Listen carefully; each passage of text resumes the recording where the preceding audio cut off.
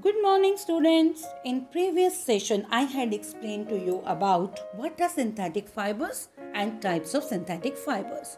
Today I will be explaining to you advantages and disadvantages of synthetic fibers.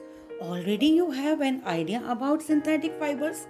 Synthetic fibers are used extensively in our daily life. There are many advantages. First is the high tensile strength. Synthetic fibers are very strong and have high tensile strength as they can hold large amount of weight without breaking in comparison to natural fibers like cotton and wool. Let us perform an activity to test the strength of fibers. For this activity, take a long thread of cotton and nylon.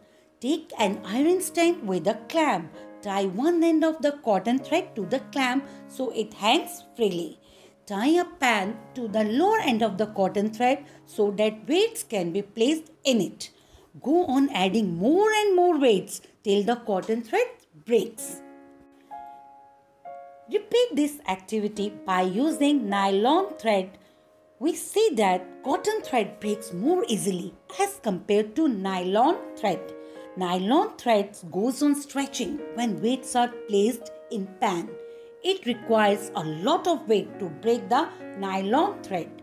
This activity proves that nylon, a synthetic fiber, is stronger than cotton. Second is low water absorbing capacity. Synthetic fibers absorb very little amount of water. Due to this, a wet cloth of synthetic fibers dries out rapidly. Synthetic fibers are said to possess drip dry property. Natural fibers like cotton, wool, and silk, however, absorb a lot of water, so they do not dry out quickly. Let us perform another activity. For this activity, we will take three pieces of different fabrics like cotton, nylon, and polyester.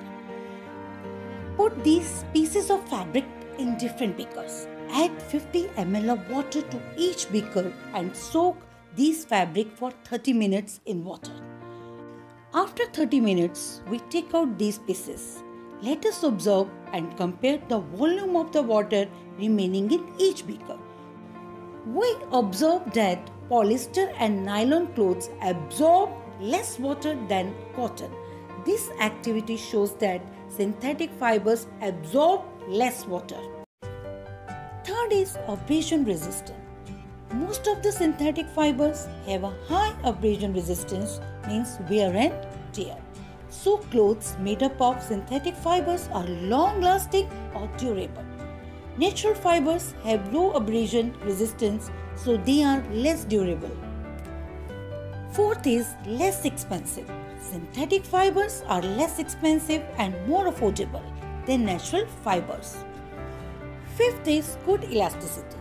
Most synthetic fibers are fairly elastic. They can be stretched or compressed to some extent and on releasing the force, they regain their original shape and size.